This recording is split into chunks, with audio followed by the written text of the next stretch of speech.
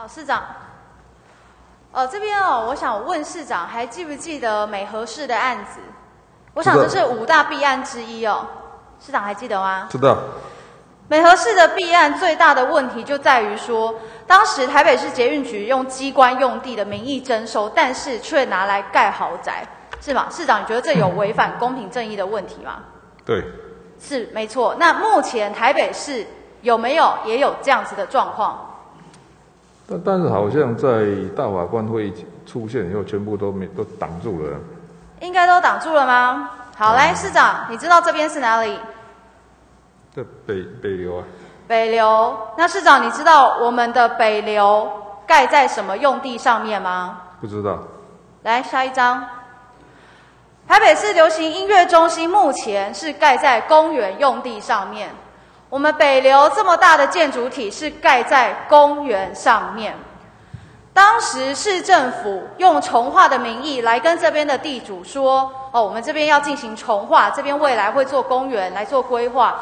那因为呢，如果是用做公园的规划的话，地主要相对的来分摊这个公共建设，所以基本上不用付任何一毛，市府不用付任何一毛钱。但是我们却在公园上面做什么？我们却在公园上面盖流行音乐中心。”市长，这里原本我们要做的是公园呢。市长，你知道吗？不知道。你不知道，你现在才知道。好，北部流行音乐中心是这样，我来告诉你。来，下一张，南流，这是高雄的，现在改名哦，叫做这个高流哈，高雄音乐中心，他们的土地使用分区是什么？他们的使用分区是特定文化休闲专用区啊，市长。有没有看到最下面第三点？有。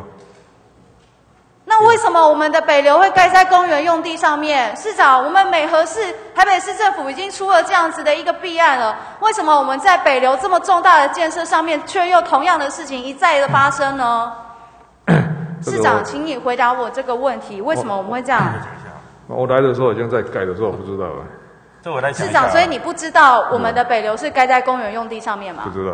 都市计划公园用地依照多目标使用办法是可以做。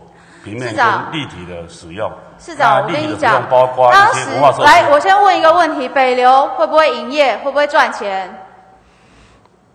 会不会营业？会不会赚钱？就是它是不是商业用途嘛？它一定有收费的。对嘛？所以那豪宅呢？豪宅同样的也是卖给别人，建商赚钱，钱赚走了，对不对？豪宅是是是。来，市长，我跟你讲，这两个是东，这两个这个案子哦，异曲同工之妙，就是台北市政府。要准备规划用地的时候，都用其他的名义挂羊头卖狗肉，跟当地的地主谈。台北市民在这样子一个没有受到信赖原则保护的这样那个之下，大家怎么知道今天我市府市府市政府来跟我谈我的土地要怎么使用？结果。市政府把原本要盖捷运的用地拿去盖豪宅，把原本要做公园规划的拿去盖流行音乐中心。我原本以为我的土地会是呃很大的绿地，有很多游乐设施，小朋友可以来享受。结果是拿来盖北流。市长，你觉得这样符合公平正义吗？那这个，把政府不会换的话，所以到底怎么回事？可以啊，那个市长。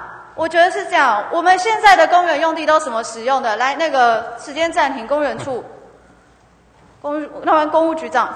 嗯。我们的公园用地现在都怎么使用？公园用地的用途有有很多种啊，那个包括这个多目标的使用都是符合法规的规定。哎，市长，我们愿不愿意把这块地重新做土地使用分区的变更？否则，当时。我们用公园用地跟这些地主谈，结果现在盖的这个北流音乐中心，嗯，问题是都已经盖好了，不是那个。那当时的问题愿不愿意解决嘛？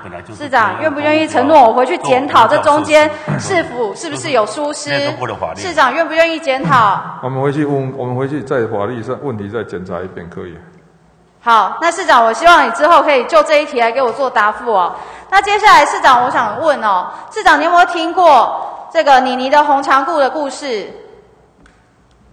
市长，你又忘记了？我们之前玉芬议员在咨询的时候有问过哦，性平教育很重要。最近大家也都在讲红色口罩这件事情哦。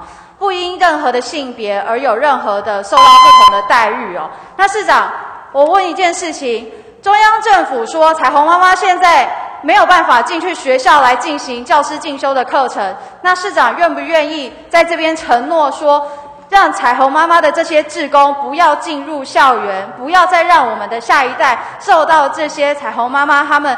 有具有这个性别强烈性别意识、性别不平等的意识的教材，在校园继续使用。市长愿不愿意承诺禁止彩虹妈妈志工进入校园？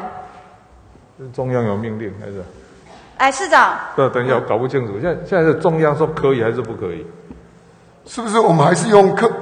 我们学校的性评会跟课课课，市长，我们应该要有更积极的作为，不是都每次等到了家长来跟我们检举，来跟我们通报，说学校发生这样子性别不平等的教材的状况，我们才来处理。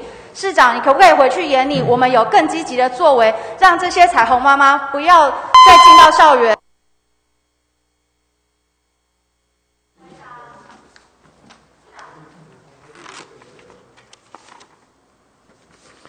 好，第八组质询结束。